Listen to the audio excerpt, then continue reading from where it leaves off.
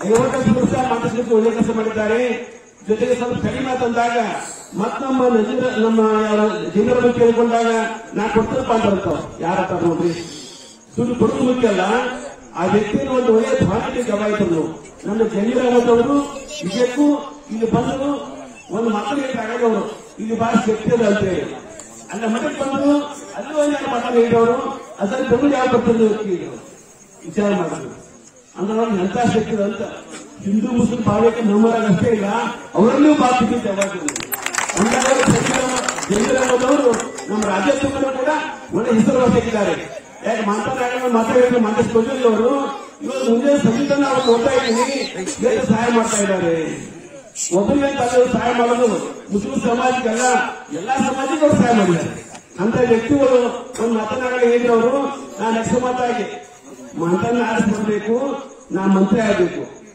ಈ ಊರಿಗೆ ಸಮಸ್ಯೆ ಐವತ್ತು ಲಕ್ಷ ರೂಪಾಯಿ ಕೊಡ್ತೀವಿ ಯಾವ ಮಂತ್ರ ಮಂತ್ರಿ ಆಗಬೇಕು.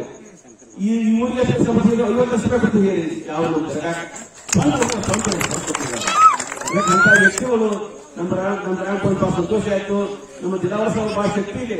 ಬಹಳ ಶಕ್ತಿ ಐತಿ. ಅದಕ್ಕೆ ಚಿಂತ ಒಂದು ಮಾತಾಡಿ ಅವರಿಗೆ.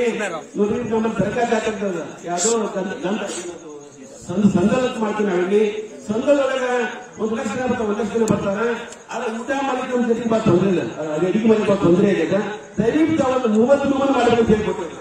ಅದನ್ನ ಮಾಡ್ಕೊಂಡು ನಾನು ಮಾಡ್ಕೊಂಡಿದ್ದೆ ಅವರು. ಆ ಮೂವತ್ತರ ಮಾಡ್ಕೊಟ್ರೆ ನಮ್ಮ ದರ್ಗಾ ಚೆನ್ನಾಗಿ ನಮ್ಮ ಜಾತ್ರೆ ಚೆನ್ನಾಗಿ ಹೋಗುತ್ತಾ? ನಮ್ಮ ಜಮೀರ್ ಸಾಹೇಬರು ನಮ್ಮ ಮಾತಾಡಿದ್ರು ಮಂಡೇಶ್ವರ ಹೇಳಿದ್ರು. ತೋಸೆ ಆಸ್ತಿ ನಮ್ಮ ಜವಾಬ್ದಾರಿ ಯಾಕೆ ಗೊಜಲ್ ಅವರು ಒಳ್ಳೆಯ ಒಂದು ವ್ಯಕ್ತಿ ಒಳ್ಳೆಯ ಒಂದು ಶಾಂತ ಸಭಾದವರು ಒಳ್ಳೆ ಕೆಲಸ ಮಾಡಿದ್ದಾರೆ. ಇನ್ನೂ ಕೆಲಸ ಮಾಡೋ ಶಕ್ತಿಯನ್ನ ಆ ನಮ್ಮ ಜರಾಸ ಅವರು ಕೊಡ್ಲಿ ಮುಂದೆ ಆ ಸರ್ಕಾರ ಬಂತ ಅಂದ್ರೆ ಮಂತ್ರಿ ಕೂಡ ಅವರಾಗಂತ ಹೇಳುತ್ತಾ, ಮುಂದೆ ನಮ್ಮ ಅವರು ಮಂತ್ರಿಯಾಗಿ ಮಂತ್ರಿಯಾಗಿ ಅಂತ ಜಮೀರ್ ಅಹಮದ್ ಅವರು ಬಹಳ ಮುಂದೆ ಬಂದು ಒಳ್ಳೆ ಕೆಲಸ ಮಾಡಿ